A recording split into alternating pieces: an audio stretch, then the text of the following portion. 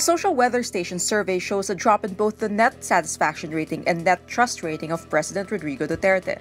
The SWS survey shows 67% were satisfied with Duterte's performance, 19% said they were dissatisfied, while the rest were undecided. That puts his net satisfaction rating at positive 48 or good, an 18 point drop from the positive 66 or very good satisfaction rating the president got in June. Duterte's net trust rating also went down from positive 75 or excellent in June to positive 60 or very good in September. The survey shows 73% said they had much trust in Duterte, 12% said they had little trust in him, and the rest were undecided. Batanes Representative Dina Abad, the wife of former Budget Secretary Butch Abad, dies Sunday. Vice President Leni Robredo confirms Abad's death in a Facebook post. Robredo says, quote, You will be terribly missed, Congresswoman Dina Abad. The nation lost another treasure. The Abad family has yet to issue a statement on the lawmaker's passing.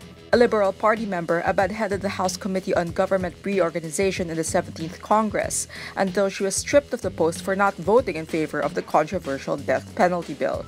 She was also among the lawmakers who pushed for the passage of the reproductive health law. Abad was also a longtime professor at the Ateneo de Manila University. She served as the founding dean of the Ateneo School of Government.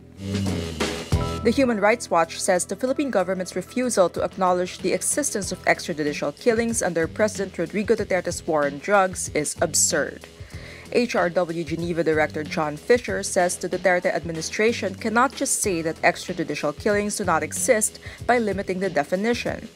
The Philippine government's data shows at least 3,850 people were killed in police operations, while at least 2,290 others were killed mostly by vigilantes. But despite these huge numbers, the Philippine National Police said there has been officially no case of extrajudicial killing under the Duterte administration. In identifying extrajudicial killings, the PNP used the definition stated under Administrative Order 35 issued by the Aquino administration.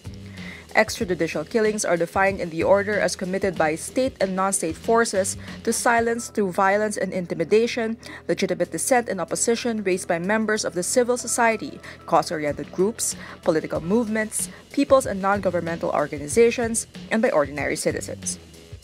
But Fisher says the Philippines should follow the international definition as it is a signatory to various human rights treaties. He says an extrajudicial killing refers to the killing of a person by government authorities without sanction of judicial proceeding or legal process.